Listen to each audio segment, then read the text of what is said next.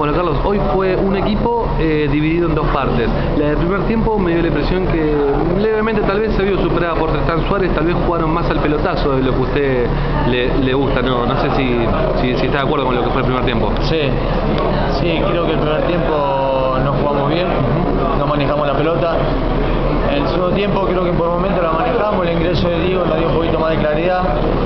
Eh, pero bueno, nos vamos con el sabor amargo de, que, recibimos el empate en la última jugada. Sí, justamente, y ahora sí hablando más que nada del segundo tiempo. Eh, ¿Encontramos más aire con Gutiérrez por derecha? Y sí, con Figueroa para enganche sí, encontramos más aire, encontramos más juego con Diego. Yo creo que si el segundo tiempo por ahí acertamos alguna de contra, lo podemos haber liquidado. Eh, tuvimos opciones para liquidarlo, pero bueno, creo que en líneas generales, por lo que hicimos el primer tiempo y lo que se hizo el segundo tiempo, fue justo el empate.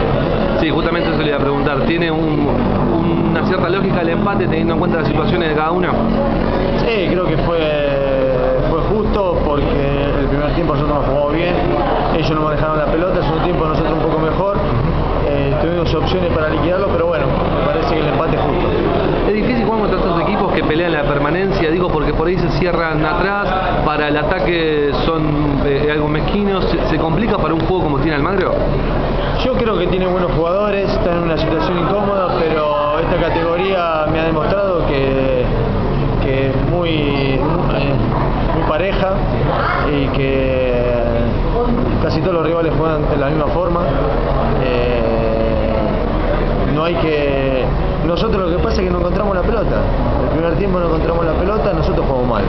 Eh, nosotros, si bien nos fijamos en los rivales, pero eh, el partido nos empata porque nosotros no manejamos la pelota antes, lo hablaba con, Bruno Centeno. Eh, los partidos centrales Almagro prácticamente no necesitó mucho el arquero porque creaba muchas situaciones, porque prácticamente no sufría mucho en defensa justamente por la solidez de esta línea. Hoy sí lo, tuvo que, utilizar varias veces a Centeno. ¿Eso habla bien del arquero? Es decir, hay, un arquero en el arco de Almagro. Sí, sí, sí, sí. Anda bien, es que más es buen arquero. Cuando nosotros lo necesitamos siempre respondió.